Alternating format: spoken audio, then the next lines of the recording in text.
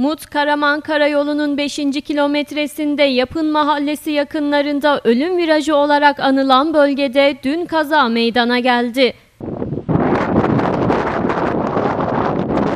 Alınan bilgiye göre Karaman istikametinden Mersin istikametine seyir halinde olan Mehmet T idaresindeki evden eve eşya taşımacılığı yapılan kamyonun sürücüsü virajda yoldan çıkarak karşı şeritten şarampole savruldu. Kazada araçta bulunanlardan 3 kişi olay yerinde, bir kişi ise ilçe devlet hastanesinden Mersin'e ambulansla sevk edilirken yolda yaşamını yitirdi.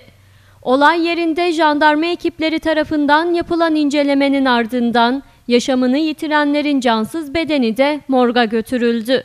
Kazayla ilgili soruşturma devam ediyor.